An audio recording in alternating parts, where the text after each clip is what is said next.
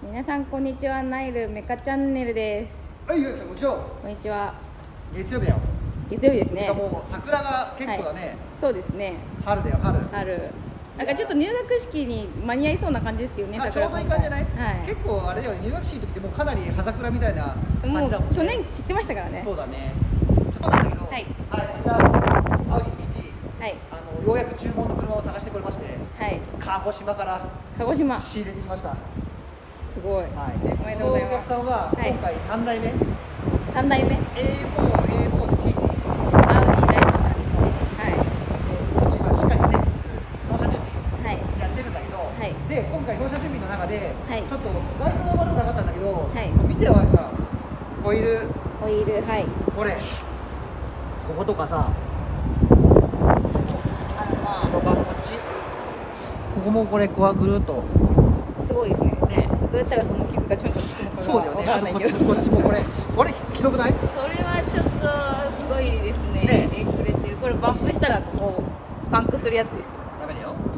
でじゃあ何かって言ったらまあナイルだと納車前にある程度傷とかも直すんだけど、はい。今回この3本をはい。直します。直す？直す。どうやって直すんですか？でもうそりゃあの粘土買ってきてさ、はい。あのもうパッあ塗り塗りして。じゃなくてあのまあこれもうぶっちゃけた話これははい。外注さんなんだけど、はい。すごい腕のいい外注先さんがいるので、はい。そこに今からこの3本お願いして、はい。で今日は今これオープニングなんだけど、い。でまあ施工に1週間ぐらいねちょっとかかるんですから、はい。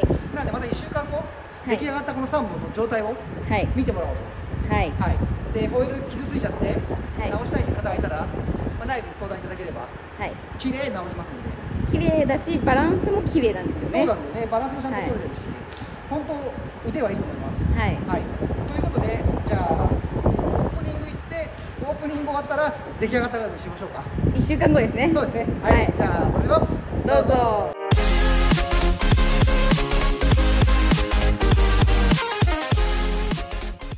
あれから何日経ったっけか？月火水木4日3 4日。はい、はい、直ってまいりました。はい、こちら。こちらリペアをした。はい、はい。見てくださいよ。もうこの前の。ピカピカ超ピカピカですね。どこがガリってたかわかんないでしょ全然わかんない。一応これはねあのこの4本のうちこれだけはあの補修してないです。はい。はい。なんでまだちょっと汚れてるんでちょっと色が黒く感じますけど、はい。うん、でこの3本をこの前ね見せたあのえちょっとガリッといってたやつこれわ本当わかんないですよね。はい。まあここまで綺麗になればいいんじゃない？そうですね。ね。あのすごいぐにぐにゃってなってたとこあるじゃないですか。でうちだと、まあ、これ今回この TT を買ってくれたお客さん？はい。でまあサービスでこれ やってるもんで、はい。ここまで綺麗になればお客さんも納得いただけると思います。ホイールを変えるっていう選択肢もいあるんだけどこうやって傷をね直しちゃえば？はい18とかね19とかね20とかさ。はい。まあそこのそこで何これこれ何何インチか。これ確か19インチですよ。あ。また変わったホイール履いてますね。はい我が家の。また紹介しましょうかこの車も。はい。はい。そう。ということでねガリ傷はいい業者さんを使えば綺麗に治ると。悪い業者さん使うとバランスもめっちゃくるんですよね。まあどういう直し方をねするかにもよると思うんだけど、はい。であとここすごいのはさタイヤ外さずにそのままあのも持ってきてくれるはい。のでそこもあのありがたいところ？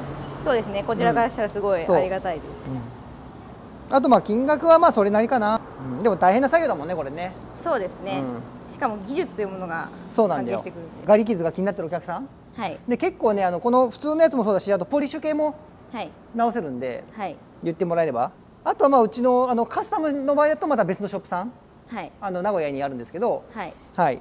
そちらもおすすめですもちろん。そちらももう本当にすごい腕の持ち主なので。なんかオートサロンとか出てたんでしたっけ？